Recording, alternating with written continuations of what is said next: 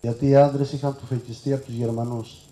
Χωριά ολόκληρα, καμένα χαλάσματα. Μία ακόμα δράση στα πλαίσια ευαισθητοποίησης και ενημέρωσης της νέας γενιάς από το Δήμο Ηρακλείου είναι η νέα έκθεση με θέμα Οι θηριωδίες της ναζιστικής Γερμανίας στην Κρήτη. Με αφορμή την 80η επέτειο μνήμης του ολοκαυτώματος των χωριών της Βιάνου και της Δυτικής Ιεράπετρας, παρουσιάστηκαν εικόνες της εποχής στο κοινό ως όπλο απέναντι στη λύθη. Είναι υποχρέωση κάθε Δήμου που σέβεται τον εαυτό του κάθε δημοτικής αρχής να τιμά την ιστορία του, να μεταλαμπαδεύει στους νέους τη γνώση και να δίνουμε μαθήματα δημοκρατίας μαθήματα για το πόσο ο ναζισμός, ναζισμός μπορεί να προκαλέσει θηριωδίες. Τις θηριωδίες προκάλεσε και τις θηριωδίες που ζούμε καθημερινά. Παρουσίαση ενός ιστορικού αρχαιακού υλικού, της εκθέσεως που έχει την υπογραφή του Καζατζάκη, του Κουτουλάκη και του Κακριδί για τις ομότητες που διέπραξε η ναζιστική Γερμανία στην Κρήτη κατά την περίοδο της κατοχής.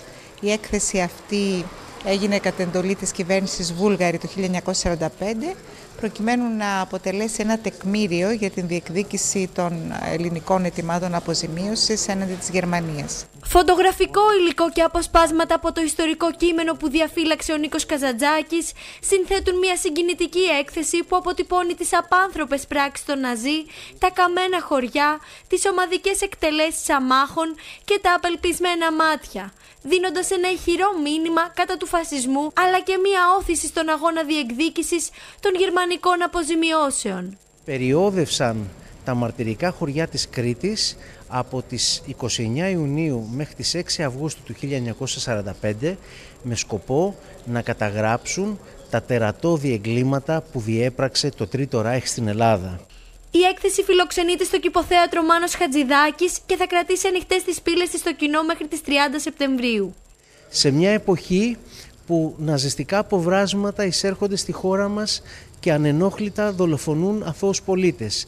Σε μια εποχή δυστυχώς που με την ψήφο του ελληνικού λαού ναζιστικά στα γονίδια ξαναβρίσκονται στα έδρανα της Βουλής και πολλά ακροδεξιά κόμματα στον προθάλαμο της εξουσίας σε πολλές ευρωπαϊκές χώρες, σε μια εποχή τέλος που μένεται ο φωνικός πόλεμος στην Ουκρανία, έχουμε καθήκον να αναδείξουμε την ιστορική μνήμη, να δείξουμε σε όλους τι σημαίνει ναζισμός και φασισμός και να ορθώσουμε ένα τείχος απέναντι σε αυτούς που θέλουν να καταλύσουν την ειρήνη και τη δημοκρατία.